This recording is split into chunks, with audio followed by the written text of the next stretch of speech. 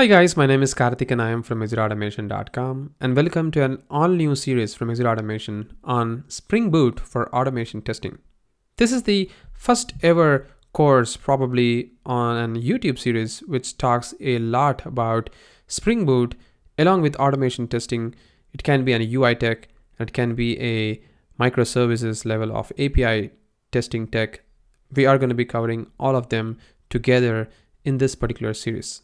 So the Spring Boot for automation testing, what is this all about? What is this Spring Boot if you have never really heard about it?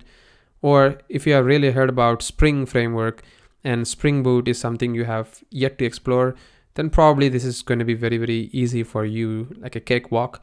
But if you have never heard about Spring Framework or Spring Boot, then this course is something that you should be looking for.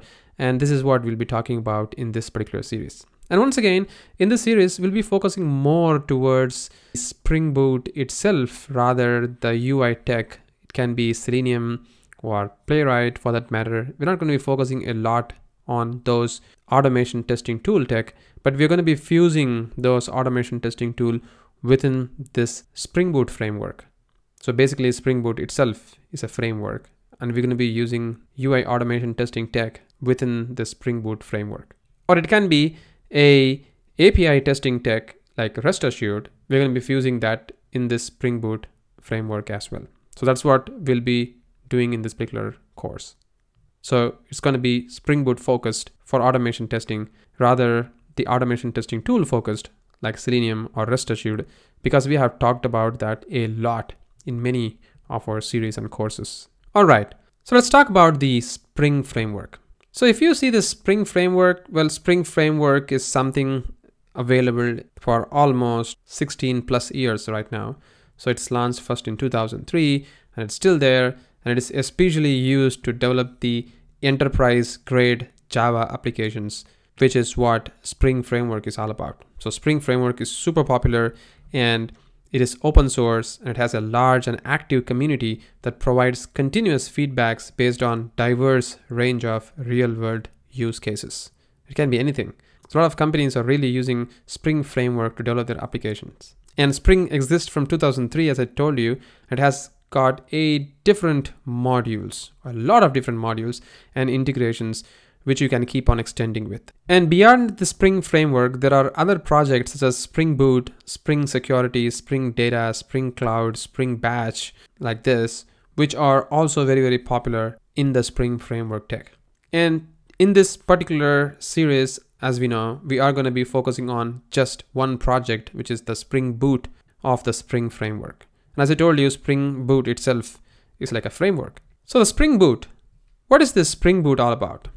Well, Spring Boot makes it easy to create a standalone production grade Spring based application that you can just run.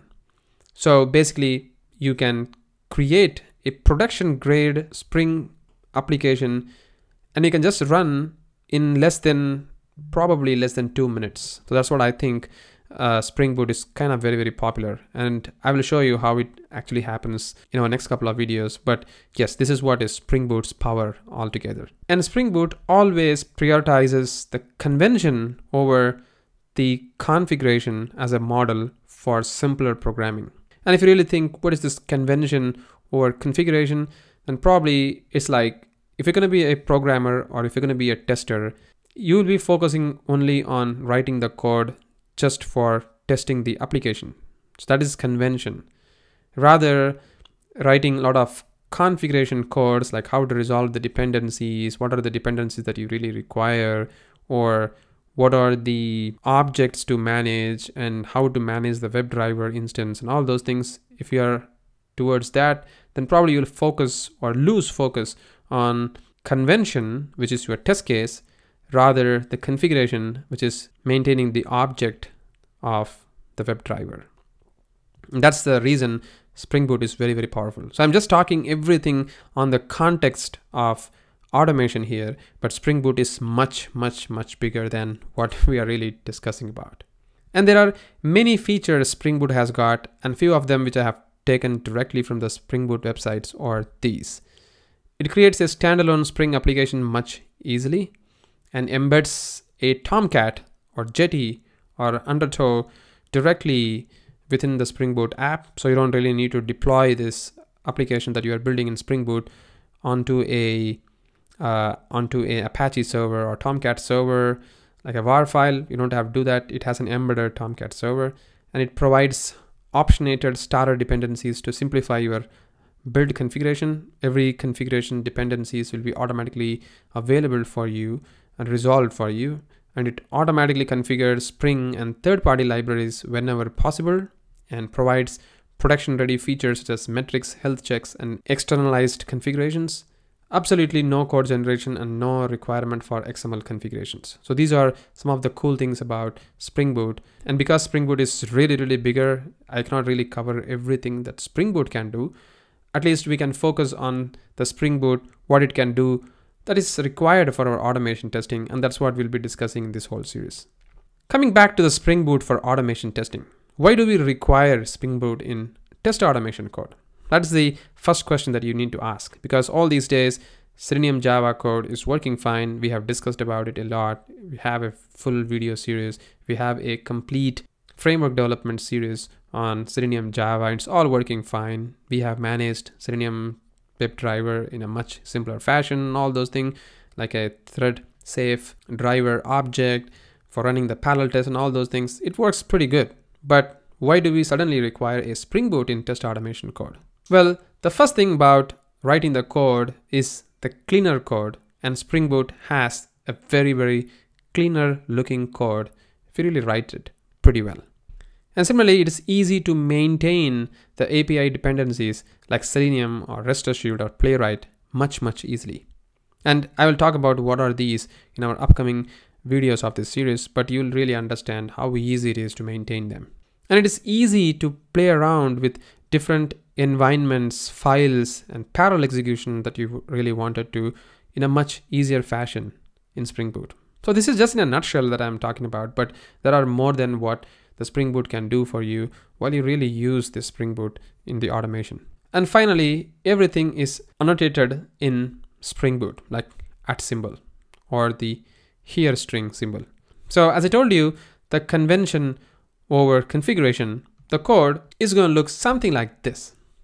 As you can see, the first part over here, as you can see, this is the Spring Boot code that you are seeing over here. This Spring Boot code actually has got the code which is just performing what you are trying to do. Basically like navigating to the page, clicking the login link, and then entering the username and password and then clicking the login again in the home page, in the login page to log in and perform the business operation that you are looking for. So this is the convention that we are talking about.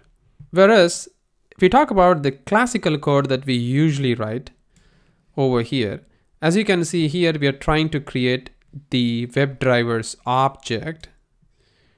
And we are trying to maintain the WebDriver object and this is the most headache thing that we always try to have or try to resolve which is maintaining the WebDriver object not like a static object and then using it or putting it on a base class and then trying to access it with thread safe code and all those things.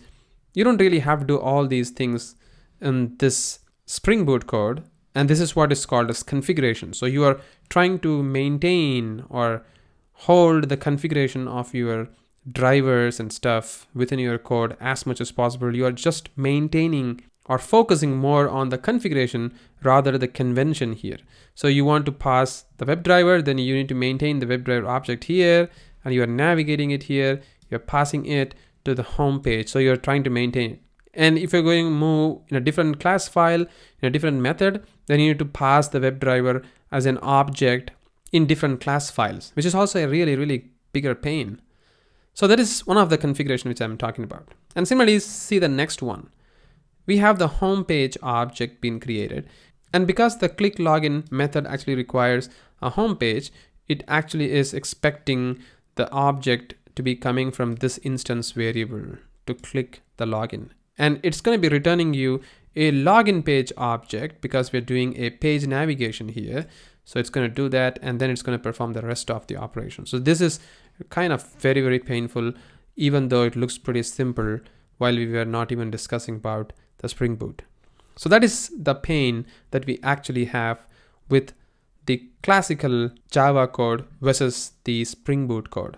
Well, if you have got a bit of idea, we're going to cover a lot about that in our next lecture of this series, like how to really, really see the difference. But as of now, this is what it is.